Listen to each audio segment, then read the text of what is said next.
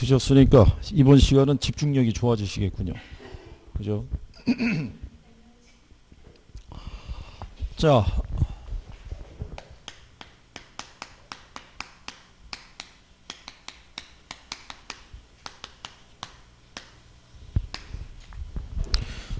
자, 민간 개발 방식에 가게 되면요. 자체 개발 방식이 있는데 이거는 다른 말로 지주 자력 개발 방식이라고 얘기를 해요. 그러니까 이제 사업 주체가 토지 소유자가 되죠. 그러니까 토지 소유자가 자기가 자기 땅에다가 자기가 개발 자금을 조달해서 자기가 건설해서 분양해서 수익을 내는 구조죠. 그러니까 부동산 경기가 좋을 때는 뭐 이 방식을 쓸 수가 있는데 근데 상대적으로 어 수익도 다 가져갈 수 있지만 리스크도 다 자기가 부담해야 되죠. 예, 그래서 그 위험을 분산하기 위해서 들어온 게 지주 공동 사업이에요. 그러니까 지주 공동 사업은 토지 소유자 있죠. 소유자하고 누구하고 예, 개발업자가 이제 조인을 해서 이제 개발 사업을 추진해서 위험을 배분하는 방식이라고 보시면 되죠. 근데 이제 지주 공동 사업안에 가게 되면 어, 공사비를 대물로 변제해 주는 형이 있고요. 이거를 다른 말로 등가 교환 방식이라고 얘기를 하죠. 이제 공사하고 난 다음에 공사비 대신에 현물로 주는 개념이죠. 이게 이제 등가 교환이라는 거는 토지 소유자의 땅에다가 개발업자가 개발 자금을 대서 건물을 짓고 토지 가치하고 건물 가치 있죠. 그러니까 1대1로 교환하는 방식인데 이게 딱 같을 수는 없어요. 그러니까 이제 요거를 조정하기 위해서 사전에 뭐 약정을 별도로 하거나 하겠죠. 그리고 원래 이 방식을 할 때는 요때 요 토지 있죠. 예, 이거는 신탁 설정이에요. 예, 토지의 소유권을 신탁회사에 넘겨서 나중에 이게 교환이 이루어질 때 예, 이게 이제 다시 원래 상태로 돌아가는 경우죠. 그래서 이제 공사비 대물 변정이 있고요. 그 다음에 공사비를 분양금으로 지급하는 형태도 있고요.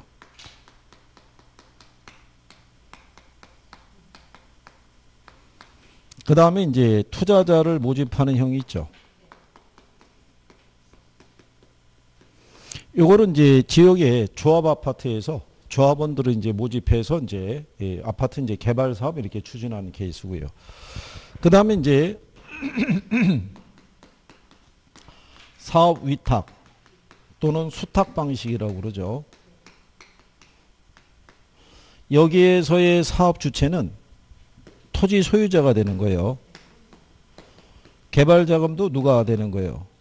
네, 소유자가 되는 거죠. 이익도 얘가 가져가고.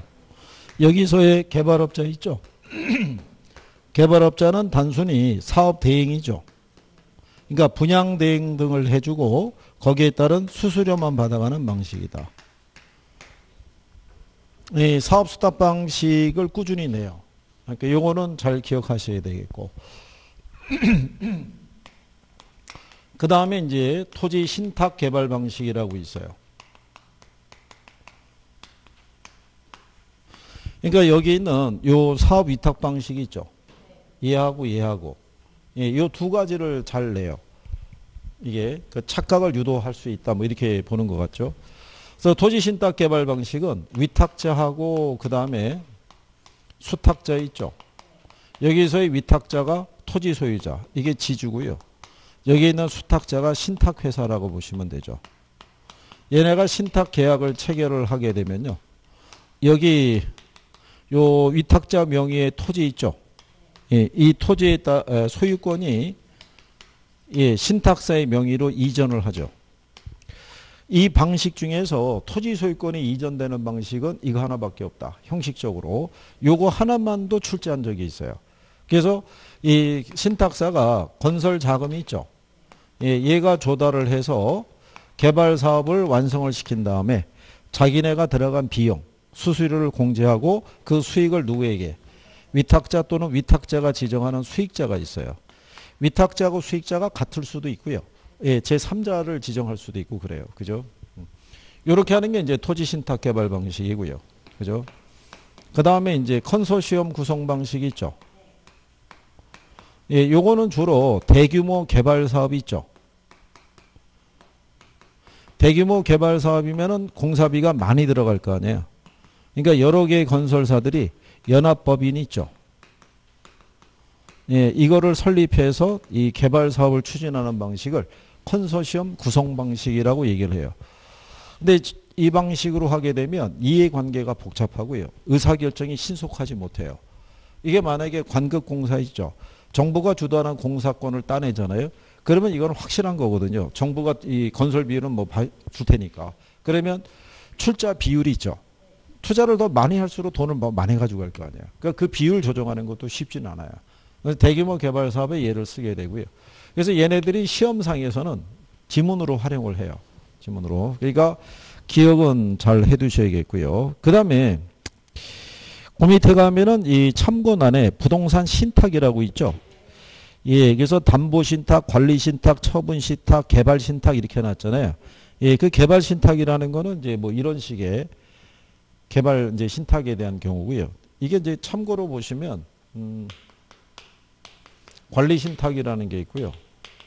처분 신탁이 있고 담보 신탁이 있고 개발 신탁이 있잖아요. 그런데 여기 신탁 설정을 하면은 소유권이 이전이 된다고요. 그죠? 작년에는 여기 있는 담보 신탁이 있죠. 예, 이걸 개발 신탁하고 반대로 이렇게 용어 바꿔서 이렇게 출제하는 거예요. 근데 이제 작년에 이게 논란이 조금 됐던 게 뭐냐면, 음, 여러분들이 우리 지금 배우고 있는 게 그게 산업인력관리공단에서 표준 시험 목차를 제시했어요.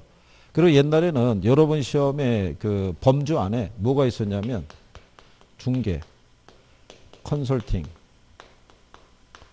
예, 그 다음에 신탁, 권리 분석, 예, 이 파트들이 학계론의 내용이 있었어요. 있었는데 이거를 다 빼버렸어요. 표준 목차 안에서. 그러면은 이 파트에서는 시험이 나오면 안 되는데 작년에 이게 나온 거예요. 신탁이. 그래서 이제 항에 들어갔는데 근데 어떻게 할 수가 없는 게 그 이전에도 신탁은 냈다고요. 이런 식으로.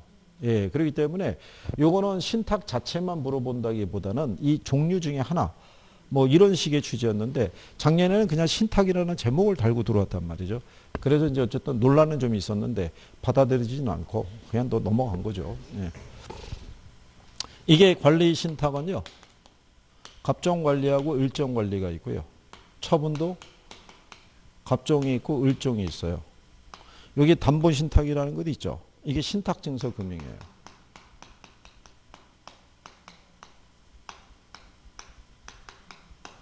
그러니까 내가 만약에 내가 소유한 부동산을 담보로 해서 돈을 대출받을 때 이걸 신탁 설정하면 소유권이 신탁사로 넘어가겠죠. 대신에 신탁회사에서 이 증서를 발급해 주죠. 그 증서를 가지고 은행에 제출하면 증서에 명시된 그 금액 정도의 한도 내에서 대출을 받아서 쓸 수 있는 거예요. 그래서 이게 담보신탁이라고 얘기하고요. 이것도 부동산을 담보로 해서 조달하기 때문에 부채금융의 일종이라고 얘기하죠. 그래서 지문에 들어와요. 신탁증서금융이라고. 이게 무슨 금융이라고요? 그 다음에 여기 관리신탁이 있잖아요. 예, 갑종이라는 건 총체적인 관리 다 하는 거예요. 예. 부동산의 뭐 관리서부터 임대, 매각 이런 것까지 다 해주는 거예요. 전체적으로. 그래서 이, 이 관리, 갑종 관리 신탁은 누가 하냐면 그 해외 이주하는 사람들 있죠. 해외 이주하는 사람들이 만약의 경우를 대비해서 국내에다 부동산을 남겨놓는 경우가 있어요. 근데 그거를 자기가 해외에 있으니까 관리하기 힘들잖아요. 그리고 아는 사람에게 믿고 맡기기도 참 부담스러운 거예요. 저게 어떤 사고도 있냐면 그 해외 이주 나갔고 아는 이제 일가 친척에서 좀 믿을 만한 사람에게 관리를 맡겼는데 그 사람이 또 일이 바쁘다 보니까 또 자기 또 뭐 이제 가족 관계에 되는 뭐 사위가 됐든 맡기라고 맡으라고 그랬을 거 아니에요. 근데 그게 전부 다 전세를 주는 건데 그 친구가 전세를 월세 계약으로 바꿔버린 거예요. 월세 계약으로 바꿔버리게 되니까 차익이 생기잖아요. 보증금의 차익이. 그걸 걔가 유용을 한 거죠. 그래가지고 그게 이제 그러면 이제 문제가 되는 거죠. 왜? 보증금의 규모가 줄어들잖아요. 그럼 그 사람은 그 보증금을 받아서 통장이나 어디에 넣어놨다가 이자 수익이나 뭐 이런 거 있다 나중에 전세금이 올라가면 그 차익만큼을 계속 이렇게 적립하는 그런 스타일이었는데 안 되니까 외국에서 들어와 본 거죠. 오니까 그런 사단이 난 거죠. 그리고 또 중개업자에게 관리를 맡겼다가 통으로 또 어, 그런 게 문제가 좀 될 수 있는 거고. 여기 을종 관리 신탁 그리고 또 얘는 또 어떤 게 있냐면 자녀가 어렸을 때 얘네가 관리 능력이 없다. 예. 근데 나는 지금 나이가 들었다. 나도 내가 관리하기 힘들다. 그럴 때는 차라리 신탁을 매길 수도 있죠. 그래서 수익만. 근데 이런 게 있어요. 왜 부자가 3대를 못 간다는 게 있잖아요. 그게 관리 능력이 없으면 그런 거예요. 100억대의 재산을 물려주면 뭐 하겠어요. 몇 년 안에 다 말아먹을 수 있는데. 그러니까 그런 걸 방지하기 위해서 뭐를 설정하는 거예요. 신탁을 설정하거나 아주 규모가 많으면 어, 재단을 설립하는 거죠. 그 재단에다가 재산을 기부를 하고 재단에서 운영을 하고 거기서 나오는 수익 중의 일부를 누구에게 후손에게 그래서 이게 록펠러 재단 이런 게 존재하는 게 그거예요. 그러니까 옛날에 미국의 유명한 부자들 중에 재단을 설립해서 후손에게 물려준 애들은 지금도 존재하고 현금으로 준 애들은 뭐 지금은 뭐 이름도 없고 뭐 그런 경우죠. 여기 처분 신탁은요. 갑종이라는 거는 처분해 주면서 명의까지 다 변경해 줘. 등기 이전까지 다 해주는 경우고 예. 여기서 을종이라는 건 단순히 처분 행위만 예. 여기서 을종 관리는 여러분 명의 신탁하시죠. 예, 그런 경우예요. 예, 그래서 그게 이제 종류가 그렇게 돼 있다 보시면 되겠고 음, 그 다음에 이제 그래서 그 밑에 개발 신탁에 대해서 하나 더 넣어드렸고요. 음, 개발 신탁도 분양이 있고 그 다음에 뭐가 있냐면 임대가 있어요. 그래서 이제 작년에 이제 이쪽에서 지문으로 형성이 됐으니까 조건 정도만 예, 종류가 이렇게 돼 있다는 정도만 아셔도 될 거예요. 만약에 문제로 돼서 필요하다 싶으면은 제가 추가로 예, 나중에 문제로 해서 이게 이론으로 볼 때하고요 지문으로 볼 때하고 틀려요. 예, 이론으로 볼 때는 아 대충 들은 것 같은데 얘가 오지선다로 나오면은 예, 어디서가 보기는 본 거예요. 보기는. 예, 그래서 이제 그거를 우리가 연습을 한번 해보시면 돼요. 그죠? 괜찮아요. 이제 또 하면 자꾸 늘어요.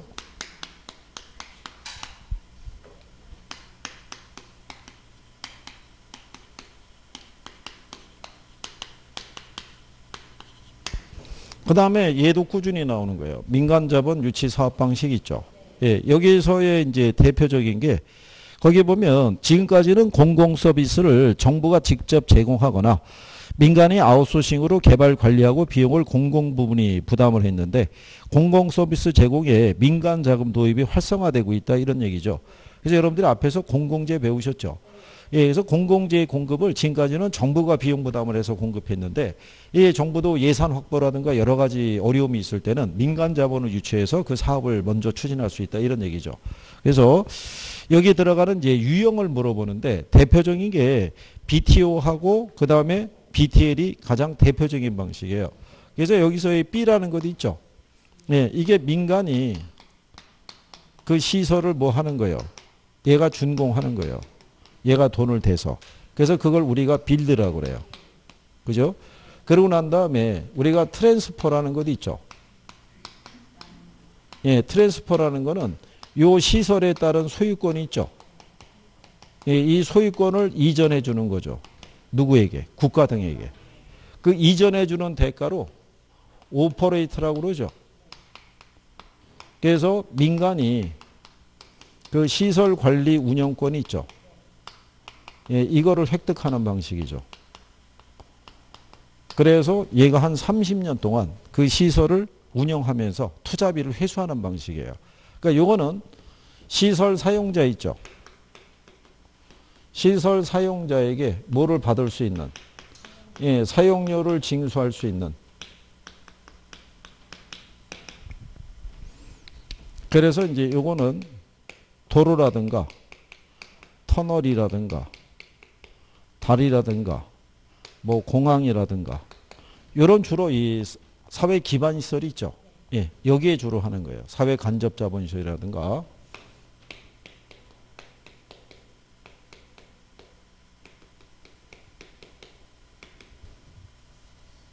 음, 여기에 들어가는 게 이제 BTO죠. 그래서 앞글자 따서 D, O 이렇게 얘기하죠. 그 다음에 이제 B가 있어요. 그죠? 예, 그 다음에 T가 있어요. 여기까지는 똑같아요. 근데 마지막에 뭐가 있어요? L이 들어가죠. 요 L이라는 게 말 그대로 리스죠. 예. 그러면 요거는 이제 어떤 거냐면 가령 예를 들어서 민간이 군인 아파트 있죠. 예, 이거를 건설을 해요. 건설을 하고 이 군인 아파트에 대한 소유권 있죠. 이거를 이전을 해줄 수밖에 없는 게 군인 아파트를 민간이 소유하기는 어렵잖아요. 그러니까는 민간은 그 소유권을 갖다가 국방부나 이런 쪽으로 넘겨주는 거죠. 넘겨주는 대가로 사전에 협약한 따에 따라서 국방부하고 요 민간하고 있죠. 그 군인 아파트에 대한 뭐를 임대차 계약을 체결하죠. 그죠? 그래 놓고 이제 리스라는 거는 요 군인 아파트 있죠. 군인 아파트에 대한 이 시설 관리 운영권 있죠. 관리 운영권을 누가 갖게 돼요? 이걸 민간이 갖게 된다고요. 그죠? 네, 그러면은 얘가 이거를 관리하고 얘가 운영하고 있잖아요. 그러니까는 국방부는 얘하고 이 계약을 체결해서 얘한테 뭐를 지급하는 거예요? 임대료를 지급하는 거죠. 그러니까 이 방식은 시설 사용자에게 뭐를 받을 수 없는 거예요. 예, 사용료를 받기가 어려운 거. 그러니까 주로 이 학교 있죠. 그 다음에 도서관 있죠. 그 다음에 대학 기숙사 있죠. 그 다음에 이런 군인 아파트 있죠. 이런 데 주로 쓰는 거예요. 대학 기숙사를 하게 되면 거의 뭐 이거 실비로 들어가는 거잖아요. 예, 기숙사. 그러니까 그런 데 주로 쓰는 거죠. 그러니까 시설 투자비를 회수할 때 임대를 가지고 회수할 수 있으니까 얘는 수익률이 추정이 돼요. 예, 근데 얘는 수익률이 추정이 안 돼요. 나중에 청산해 봐야 할 수 있어요. 근데 요즘은 반대로 얘도 나와요. 이렇게. BOT도. 예, 요거는 우리가 외국에 나갔을 때 외국에 나가서 외국 정부하고 우리나라 건설사가 이제 계약을 체결하게 되면 일단 고속도로 건설해 줬잖아요. 그럼 소유권을 바로 안 넘겨주고 우리나라 건설사가 자기가 소유권 갖고 운영을 해서 수입이 어, 투자비 다 회수하고 나중에 그 기, 나라를 떠나 나올 때 기부 체납하고 나오는 방식이에요. 그래서 순서대로만 따라가시면 구별할 수 있어요, 없어요? 네, 구별할 수 있어요. 근데 이제 요게 그 지금 하나, 둘, 셋이잖아요. 그죠? 예. 요게 만약에 하나 정도 더 들어올 수 있으면은 거기 맨 마지막에 가게 되면 BOO라고 해놨죠. 예. build own operate죠. 요게 한 번 또 나올 수도 있어요. 이게 여러분 시험에 답으로 나온 거예요. 예전에. 음. 이 방식은 사업시행자가 사회간접자본시설을 건설해서 사업시행자가 당해 시설의 소유권을 갖고 시설을 운영하는 방식이라고 그러죠. 우리나라의 이 복합화물 터미널 있죠. 예, 이거 건설할 때 다 이 방식으로 하는 거예요. 그럼 복합화물 터미널을 건설할 때 이 민간업자가 자기가 토지를 매입을 해서 자기가 그 시설을 건축을 해요. 그때 정부로부터 자금 지원 받는 건 없어요. 예, 자기 거예요. 대신에 아, 그 부지에 대한 가치가 오르잖아요. 그럼 그 이익은 민간이 가져가는 방식이에요. 그래서 그런 방식으로 쓰는 게 이게 이 비모 방식이라고 이렇게 생각하시면 돼요. 이거 왜냐하면 어, 우리가 이제 또 지금까지 출제를 주로 얘네 둘을 냈다고요. 얘하고 얘하고 그죠? 그러니까 얘만 따로 박스로 나오기도 하고 얘만 따로 박스로 출제했어요. 또 두 개를 같이 묶어서도 냈어요. 또 지문으로도 등장하고 막 이랬어요. 그럼 사람들이 대비를 어떻게 돼요? 이거 두 개만 할 거 아니에요.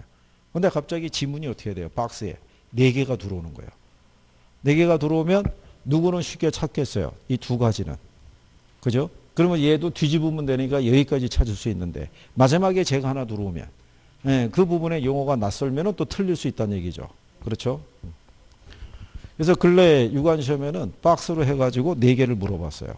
올바르게 배열된 걸 고르시오. 이렇게 해서. 그죠? 다 제가 이렇게 말씀드린 거는 나중에 동영 모의고사 할 때 문제로 다 만나보게 돼 있어요. 그때 풀어보시는 거예요. 그죠? 네. 그래서, 예. 그래서 이제 뒤로 넘어가시게 되면은 그 기출문제 지문이라고 있죠. 예. 거기 8번에 가게 되면 BTL이라고 있잖아요. 그렇죠? 사업시행자가 시설을 준공해서 그럼 빌드죠. 소유권을 보유하면서 그러면 5가 나오는 거예요. 그죠? 시설의 수익을 가진 후에 일정 기간 경과한 후에 시설 소유권을 국가 또는 지자체에게 귀속시키죠. 그러니까 걔는 BOT가 되는 거예요. 그 다음에 9번을 가게 되면 사업시행자가 시설의 준공과 함께 예, 소유권을 국가 또는 지자체로 이전을 해줬죠. 근데 해당 시설을 국가나 지자체 임대해서 수익을 내죠. 이거는 BTL이 되는 거예요. 그 다음에 마지막에는 민간 사업자가 스스로 자금을 조달해서 시설을 건설했죠. 그리고 일정 기간 소유 운영한 후에 시, 사업이 종료한 때 국가 또는 지자체에게 시설의 소유권을 이전하는 걸 말한다고 그랬으니까 걔는 BOT가 되겠죠. 그러니까 이런 식으로 나오는 거예요. 그러니까 그대로 읽는 거에 대해서 조금 숙달이 되시면은 예, 선택을 하는데 별로 어려움은 없어요. 그래서 그렇게 구별하시면 되겠고요.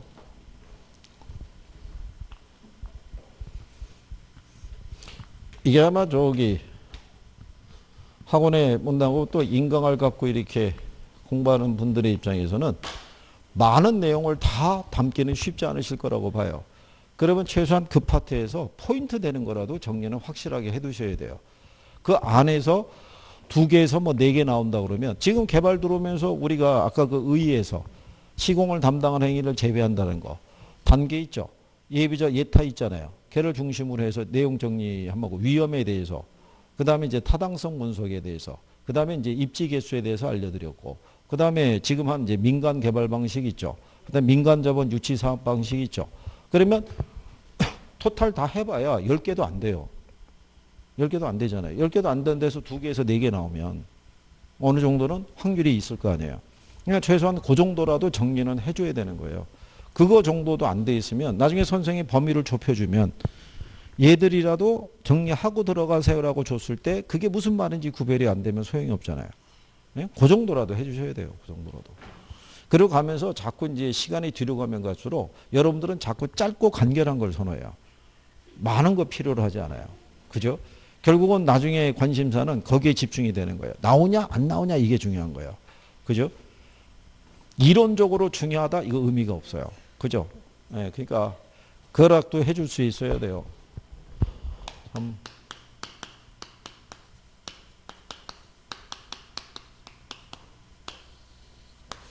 자, 부동산 관리라고 있어요. 관리가 나오면은 한문항 수준 나와요. 한문항. 근데 내용은 어렵지 않게 나오는 거죠. 우리가 지난번에 얘기했지만 관리라는 것은 소유자의 목적을 달성하기 위해서 부동산을 운영하고 유지하는 것을 우리가 관리라고 얘기하는데 어, 지난번에 설명해 드린 것처럼 요게 지금까지 우리가 뭐를 했으면요. 예, 개발을 했으면 지금부터 우리가 이 관리를 잘해야 된다는 거죠. 관리를 잘해야 되는 의미가 뭐냐면 부동산의 수명이 어떻게 돼요? 영속적이잖아요. 그래서 우리가 영속성을 물어볼 때 관리의 의의를 크게 한다라고 항상 나오는 이유가 거기 있죠. 수명이 길면 이게 필요하다는 얘기죠. 그 다음에 관리의 필요성이 있죠. 어, 일단은 뭐 도시화에 기초하고 있다고 보시면 되죠. 도시화가 진행이 되면서 많은 사람들이 어디로? 도시로 모여들죠. 근데 도시는 어, 그 수요를 수용할 수 있는 공간이 한정적이잖아요. 공간을 우리가 확보하기 위해서 우리가 도시 공간 구조가 건축 기술의 발달과 더불어 이게 수평에서 뭐로 바뀌는 거예요. 수직으로. 그래서 건물의 규모가 고층화되고 대형화되겠죠. 그러다 보니까 전유 부분은 본인이 관리하더라도 공용 부분은 본인이 관리하기 힘들어요. 그러니까 전문가의 어떤 도움이 필요하다는 얘기죠. 그래서 이제 관리라는 게 필요하게 되었다라고 보시면 되겠고, 그 다음에 부재자 소유의 증대라고 해놨죠. 이게 이번에도 여실히 나타나는 게 어, 이번에 정부가 그 규제 6.17 규제했잖아요. 규제 중에 이 실거주 요건이 커요.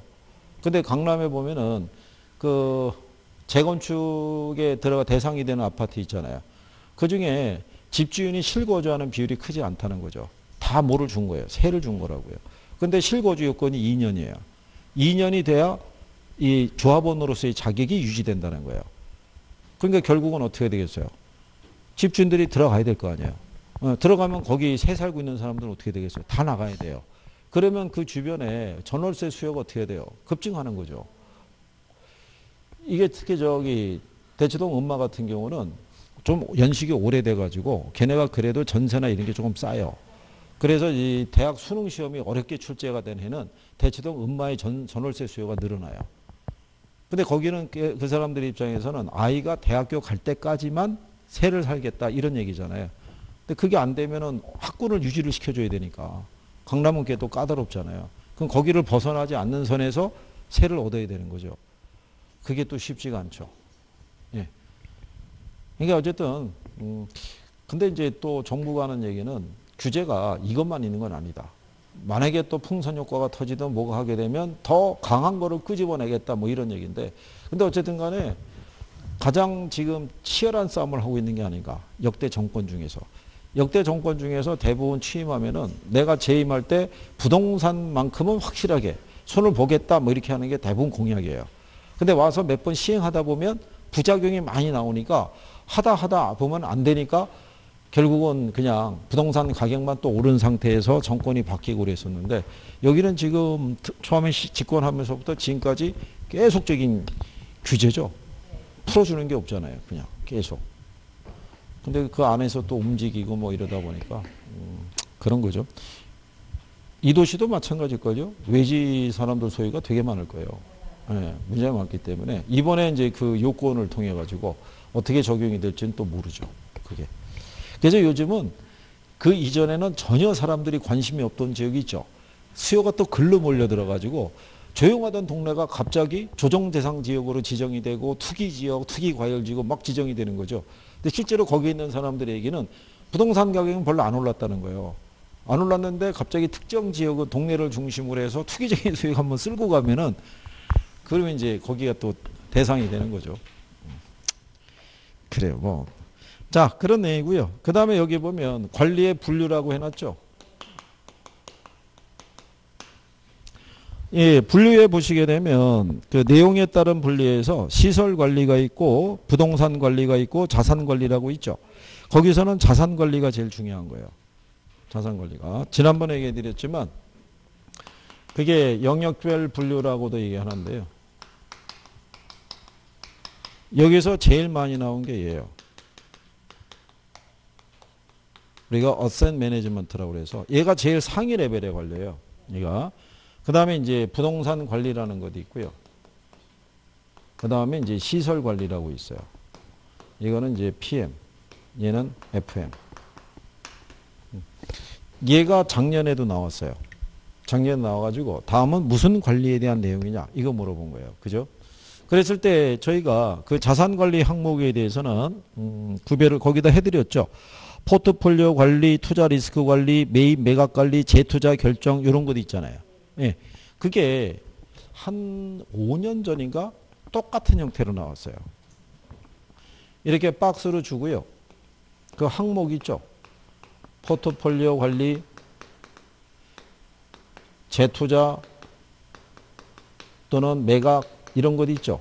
박스로 주고 무슨 관리에 대한 설명이냐. 그럼 답이 뭐였겠어요? 자산 관리. 근데 이번에 똑같이 나온 거예요. 똑같은 배열로. 예, 그래서 그 다음에 이제 우리가 지난번에 얘기했었죠. 건물 리모델링 할 수 있죠. 네, 리모델링은 무슨 관리에? 이것도 자산 관리예요. 어, 이거는 또 따로 또 시험에 나온 거예요. 어, 이걸 시설 관리라면 틀려요. 그죠? 네, 그래서 그 내용 정도를 구별하시면 돼 있고. 그 다음에 우리가 이제 알아두실 게 옆 페이지에 가시면 관리 주체에 따른 분류 있죠. 네. 음, 얘는 또 별표해야 돼요. 요게 관리 주체, 관리 방식에 따른 구별인데 자관리하고 위탁관리하고 뭐가 있어요? 혼합관리가. 근데 여기에서는 뭐 알면 되냐면요. 이게 자가관리이자 직접관리이자 또는 자치관리라고도 얘기를 해요. 예. 자관리의 가장 큰 장점이 뭐겠어요? 이게 잘 되는 거예요. 기밀유지가. 예. 그러니까 여러분 집에서 벌어진 일에 대해서 여러분이 밖에 나가서 떠들지만 않으면 아무도 모른다는 거예요. 그죠? 근데 가장 큰 단점은 뭐예요? 이게 가장 많이 나오는 것 중에 하나가 무사 안일주의. 그죠? 그 다음에 매너리즘이 있죠. 그 다음에 타성 현상이 있죠. 네, 이런 것들이 잘 나오는 거예요. 내 거니까. 그러니까 왜 그런 거 있잖아요. 매일 청소하다가 어떨 때 보면 귀찮을 때가 있죠. 공부를 해야 돼. 내일 해도 되지. 뭐 이런 식으로 미룰 수 있는 거예요. 내가 견디면 되니까. 그렇지 않겠어요? 근데 위탁 관리 있죠. 얘는 간접 관리이자 외주 관리라고 그러죠. 얘의 가장 큰 장점이 뭐겠어요? 이게 탈피된다고요. 무산해주가.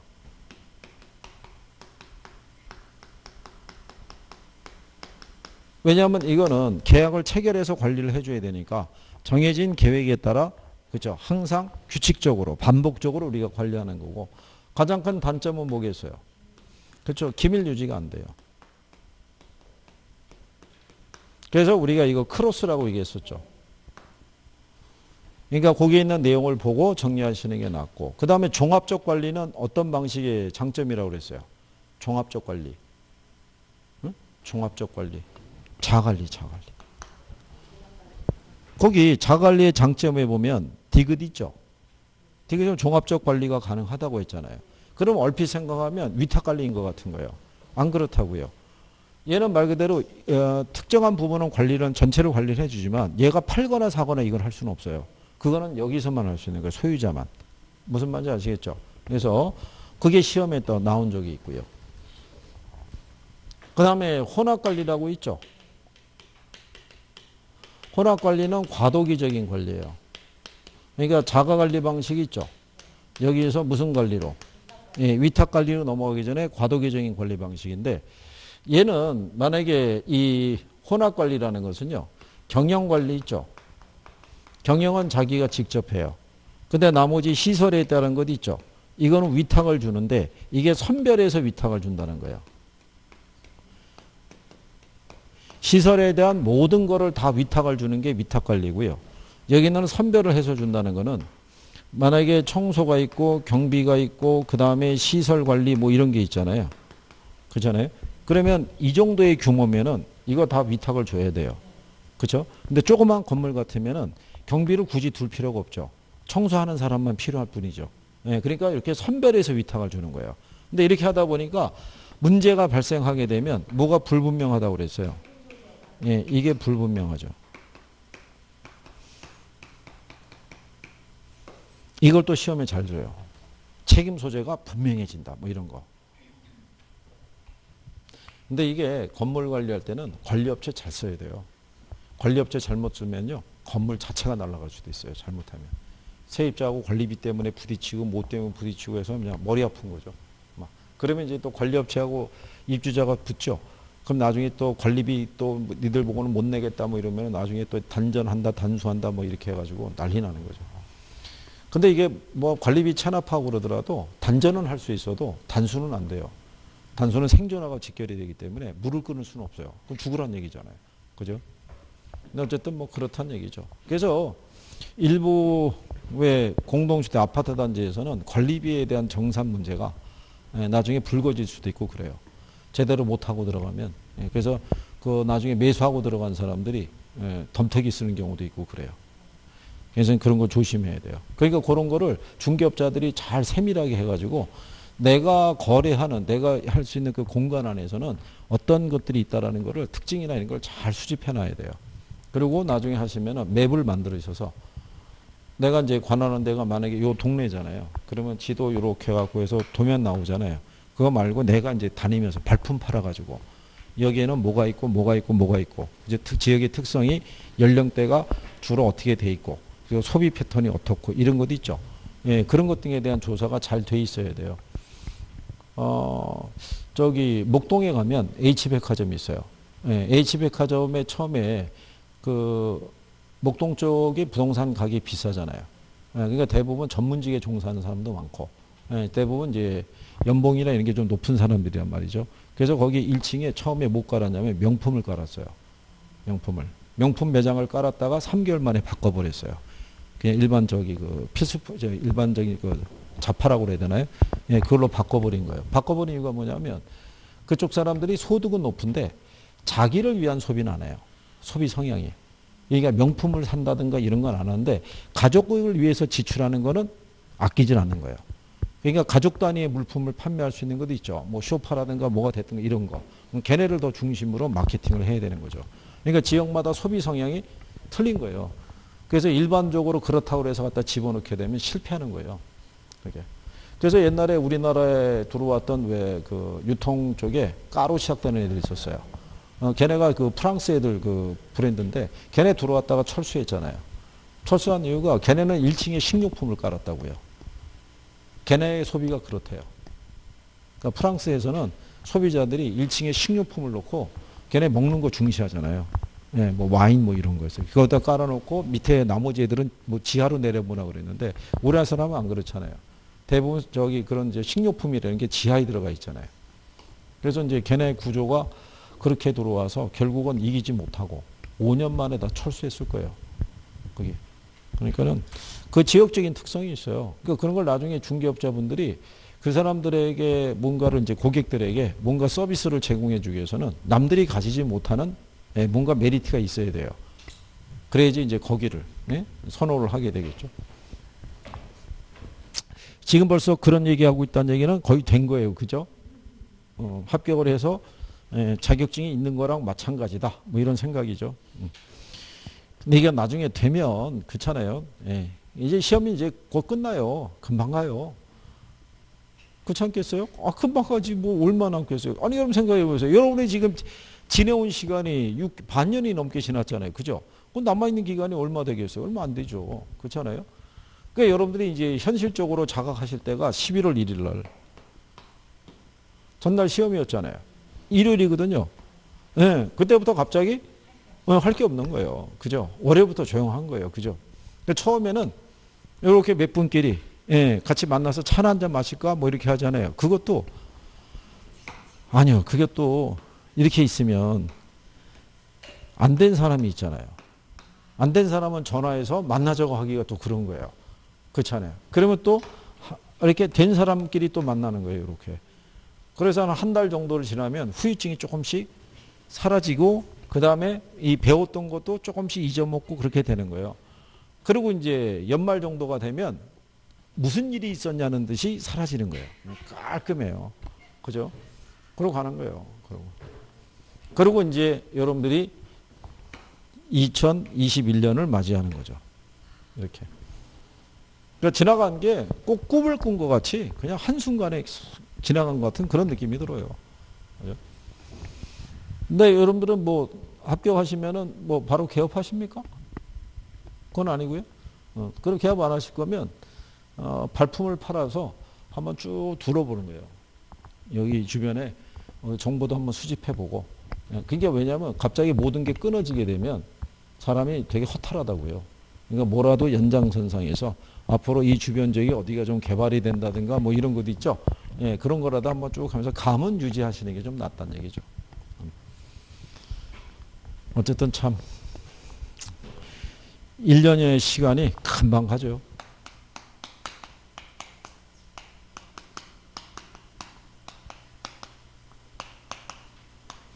음, 그 다음에 이제 부동산 관리 활동이라고 있죠. 요거는 지금까지 여러분이 배우신 거는 일본의 건물 관리 있죠. 예, 거기에 관련된 거고요. 이거는 이제 미국의 부동산 관리 회사가 이제 하는 거죠. 그래서 관리해 줄 때 제일 중요한 게 뭐냐면 예, 임대차 활동이에요. 그래서 임대차 활동에서는 제일 먼저 뭐를 선정하는 거? 예, 임차자. 그러면 임차자 선정할 때 요건이 있겠죠. 예, 주거용 부동산이 있죠. 이건 유대성이죠. 주변 이웃과 잘 어울릴 수 있을지. 이게 왜냐하면 그 같은 라인에 만약에 왜 주치자 뭐 이런 사람 있잖아요. 술 많이 먹고. 예, 그래가지고 왜 자기 집 못 찾아가지고. 예, 그래서 층을 잘못 눌러가지고 왜 구조가 똑같잖아요. 예, 그 심한 데는 그 남의 집 문 열고 들어가서 문이 열려 있었대요. 들어가서 안방에 가서 누워서 물 갖고 오라고. 그래가지고 사단이 난 경우도 있고. 그게 옛날에 저기 지금은 작관 옛날에 유명한 개그맨이 그렇게 했었대요. 그래가지고 자기 집이 만약에 6층인데 5층을 눌러가지고 잘못 들어가가지고 그 집이 얼마나 난리 났겠어요. 모르는 사람이 들어와갖고 물 달라고 소리치고 있으니 그래갖고 그런 경우도 있고. 하여간 이제 그런 사람이 있으면 시끌시끌한 거예요. 또 옆에 또 부부싸움이 잦거나 뭐 아이들이 막 뭐 시끄럽게 하거나 그러면 쉽지 않거든요. 그러니까 그런 거를 잘 봐야 된다는 얘기고 상업용 부동산은 뭐가 중요하냐면 매상고가 대부분 이 상가에서는요 1층이 랜드마크 역할을 해주는데 1층의 공간이 계속 비어 있으면 상가 전체 영업에도 타격을 줘요. 1층에 찾아오는 사람이 없잖아요. 공간이 죽어버리는 거죠. 그래서 매상고를 우리가 봐야 되고요. 그 다음에 공업용 부동산은 그 임대 공간의 적절한지 여부 있죠. 예, 그런 걸 잘 봐야 돼요. 그래서 전반적인 뭐 오피스들이 들어가 있는데 1층이 만약에 공업사나 이런 게 들어가 있으면 건물의 이미지도 틀려지고 소음도 상당히 심하다는 거죠. 그런 걸 잘 봐야 되고. 그 다음에 이제 그 임대차 계약을 체결하죠. 여기서는 시험에 나왔어요. 주거용 부동산은 총임대차 또는 조임대차를 써요. 그러니까 우리가 왜 아파트 이제 세를 들어가게 되면 보증금 내고 들어가잖아요. 예, 그러면 내가 어, 지불하는 거는 관리비 있죠. 내가 사용한. 관리비만 내면 되고 그 집에 부과되는 세금이나 이거는 다 소유주가 부담하는 그런 방식으로 계약을 체결하는 경우고 그 다음에 순임대차라고 그러죠. 이건 공업용 부동산에 있어요. 그러니까 임대료는 합의를 보고요. 추가되는 비용이 있죠. 이거는 별도의 합의를 통해서 그거는 공장의 성격에 따라 틀리다는 얘기죠. 그러니까 특히 유념해야 되는 것 중에 하나가 화재보험 이런 것 있죠. 인화성 물질을 생산하는 공장 같으면 무조건 화재보험에 가입을 해야 되는데 그게 책임의 범위 있죠. 그게 내가 빌려준 공, 장만 어, 범위에 넣으면 안 되고 그 주변까지도 피해를 보게 됐을 때 그 피해까지도 넣어줘야 돼요.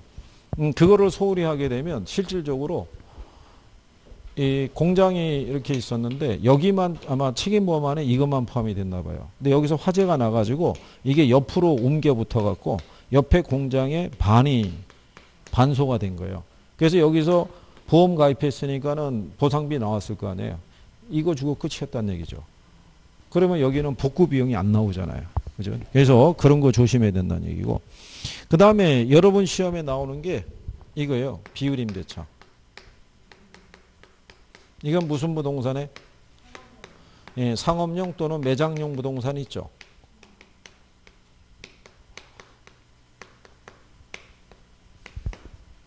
그러니까 여기는 초기 임대를 어떻게 돼요? 싸게 주고 나중에 수입이 늘어나면 그 수입의 일정한 비율을 추가적으로 임대료를 받는 방식이에요. 작년에 이게 계산 문제로 나왔던 거예요. 근데 계산 문제가 그다지 어렵지 않게 나온 건데, 예, 그래도 저희도 예, 제가 작년에도 시험장에 들어갔었었는데 이거 내는 거 보고 야 진짜 낼 거 없었나 보다 그 생각이 드는 거예요. 계산 문제로 나오기가 쉽지는 않았던 건데 그죠? 음. 그래서 저거를 여러분들이 이제 또 어, 문제집이나 동영할 때 한 번씩 다 풀어봐요. 네. 그리고 여러분들이 언제 또 실력이 늘어나냐면 이게 7, 8월 달에 기본 문제집 끝나죠. 예, 9월 달에 동영을 거치면서 실력이 늘어나요. 어, 왜 늘어나냐면 이게 반복이잖아요. 근데 여러분들이 지금까지는 이론으로 반복을 시켰잖아요. 그때는 문제로 전범위를 반복을 시킨다고요. 그러니까 40문제 풀죠. 네, 40문제 전범위가 다 들어가 있는 거예요. 여러분 시험도 그렇게 나오니까. 그러면 일주일에 전범위를 한 번씩 돌리는 거예요. 일주일에. 그러면 이걸 한 다섯 번, 네 번, 다섯 번 보거든요. 그럼 한 달에 전범위가 한 네 번, 다섯 번이 돌아가는 거예요. 무진장에 돌리는 거죠. 결국 이게 반복이라서 그래요. 그래서 이것까지 돌리고 나면은 실력이 어떻게 돼요? 좀 가다듬어지죠. 그래서 그때쯤 외부 모의고사 보죠. 그럼 성적이 어떻게 돼요? 올라가요. 네, 그러면서 그때 이제 뭐 어떤 이제 나오냐면 이럴 줄 알았으면 조금만 일찍 더 할 걸, 뭐 이렇게 되는 거예요. 한 달만 더 있었으면 내가 무조건 합격하는 건데 이런 소리 나오는 거예요. 왜? 실력 갑자기 훅 올라가거든요. 그때쯤 되면은 민법 있죠. 네, 민법도 이제 쫙 또 올라가기 시작하는 거예요. 그때 되면. 그래서 제가 아, 지난번에 한 것처럼 원서 접수할 때 1차만 하지 말고 그 돈 만 얼마 아껴가지고 같이 밥 한 끼 먹자 뭐 이렇게 하지 말고 어떻게 될지 모르는 거잖아요. 일단은 접수는 동차를 해놓고 내가 마지막에 정리되는 걸 가지고 1차에 주력하든지 2차까지 어차피 제가 볼 때는 1차에 주력을 하시더라도 만약의 경우에 들어가셔가지고 2차까지도 한번 접해보는 것도 난 방법이에요. 접해보시면 아 이런 적이구나 유형이구나 시간이 이렇게 가는구나 이런 걸 한번 느껴보는 것도 방법이라는 얘기죠. 왜냐하면 수업을 빼놓지 않고 들었으면 전혀 맹탕은 아니거든요. 그러면 풀다 보면 기본적인 내용은 답이 보여요, 또. 그러면 성적이 터무니없는 성적이 나오는 게 아니라 한 공부 안 해도 한 4, 50점은 나올 거라고요. 그래서 이제 2차에서 안타까움을 갖는 사람이 많죠. 이럴 줄 알았으면 조금만 더 할 걸. 그리고 1차 시험을 봤는데 혹시 망쳤다고 생각할 수도 있어요. 본인이 볼 때는. 그렇다고 그래가지고 2차를 포기하고 집에 가버리는 사람이 있는데 그러면 안 되는 거예요. 그 몇 해 전에도 어떤 저기 주부분이 1차를 망쳤다고 생각하고 포기하고 집에 가려고 그랬는데 마침 남편이 쫓아가 있어가지고 남편이 설득해갖고 2차를 본 거예요. 봐서 합격한 거 아니에요. 최종. 본인이 생각한 거 틀린 거예요. 그죠? 단정 지면 안 된다는 얘기죠. 자. 자, 그래서 이제 부동산 관리 활동에서는 이런 거 하고요. 그 다음에 이제 임대료 수집, 그 다음에 부동산 유지 활동이라고 있죠.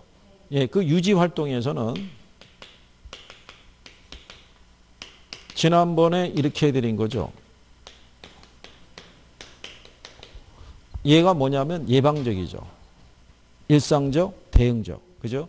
그래서 예방적이 이게 사전적 개념이고요. 미연에 방지하는 개념이고 요거는 사후적인 거예요. 이미 문제가 발생하고 난 다음에 대처하는 방식이죠.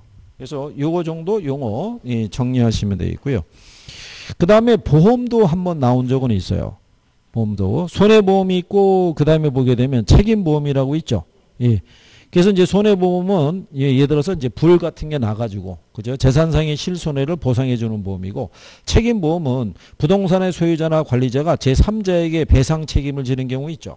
어, 상해보험이라는 것도 있고 외부 방문객이 그 건물을 방문했다가 갑자기 뭐 홍수 막 비 많이 와갖고 왜 물이 넘쳐가고 지하실이 뭐 지하 주차장이 침수되거나 이래가지고 피해 보는 경우 있잖아요. 예, 그럴 때 이제 보상해 주는 게 무슨 보험? 그게 이제 책임보험이라고 생각하시면 돼요. 그리고 이제 장부 처리하고 보고서 작성하는 것 있죠. 예, 혹시 몰라서 거기 두 번째 줄에 가면 이 보고서 중에서는 자산 보고서가 제일 중요한 거예요. 그러니까 부동산 관리 회사가 자기가 관리하고 있는 모든 부동산이 있죠. 부동산의 여러 가지 변화에 대한 변경 등에 관한 사항이 있으면 그거를 취합해서 소유자에게 보고해 주는데 1년에 두 번 해주는 거예요. 그래서 반년마다 작성이 된다라고 해놨죠. 예, 그런 얘기예요. 그리고 거기 공실 부동산 보고서 있죠. 그게 잉여 부동산 보고서라고도 얘기를 해요. 그러니까 자기가 관리하는 부동산 중에서 매 공실이 발생한 부동산이 있죠. 예, 그거 보고해 주는 거죠. 그래서 그런 내용. 그 다음에 옆에 가면은 건물의 내용연수가 있어요. 물리적, 기능적, 경제적, 그 다음에 행정적 내용연수가 있고요. 예, 그 다음에 이제 그 생애주기라고 있죠. 전개발 단계, 신축, 안정, 노후, 그 다음에 완전 폐물이 있잖아요. 여기서는 뭐 물리적인 측면에서 유용성이 제일 높은 거는 신축 단계예요. 그리고 경제적 유용성이 제일 크게 나타나는 거는 안정 단계예요. 우리가 왜 그 리모델링이라든가 재투자 있죠. 예, 이거는 어느 단계 사는 게 좋다라는 거예요. 안정 단계 사는 게 제일 효과적이에요. 노후 단계는요 이미 지나간 거예요. 그러니까 폐물 단계 전이기 때문에 여기는 비용을 투자한다고 그래가지고 뭐 원상 회복이라든가 가치 회복을 기대할 수는 없다라고 보시면 돼요. 그래서 여기는 뭐 어렵게 내기도 힘든 데가 이쪽이에요. 아, 그래서 여러분들이 충분히 문제를 풀 수 있다. 뭐 이런 얘기죠. 그래서 아마 거기 옆에 보시면은 어 197페이지에 기출문제 지문 나와 있죠. 예. 거기 보시면 2번에 오피스 빌딩에 대한 대대적인 리모델링이 있죠. 무슨 관리라고 그랬어요? 자산 관리인데 시설 관리라고 했으니까 틀렸을 거 아니에요. 그죠? 그 다음에 3번에 보면 직접 관리 방식 있죠. 관리 업무의 타성을 방지할 수 있고 인건비의 절감 효과가 있다는 거 틀렸잖아요. 네, 이거를 방지할 수 있는 거는 위탁 관리죠. 그 다음에 거기 간접 관리 방식은 관리 업무의 전무성과 합리성을 제고할 수 있는 반면에 기밀 유지했을 때는 직접 관리보다는 불리하죠. 그렇죠? 그 다음에 혼합 관리 있죠. 예, 거기 보면은 어, 6번에 필요한 부분만 선별해서 위탁하죠. 예, 그래서 관리의 책임 소재가 분명해진다 그래서 틀린 거예요. 예, 필요한 부분만 선별해서 위탁하는 건 맞는 거예요. 근데 뒤에 문장이 틀렸다는 얘기죠. 예, 그리고 7번에 가면 상업용 부동산의 임차자 선정할 때는 뭐가 중요하다? 가능 매상고. 무슨 말인지 이해하시겠죠? 이런 식의 난이도예요.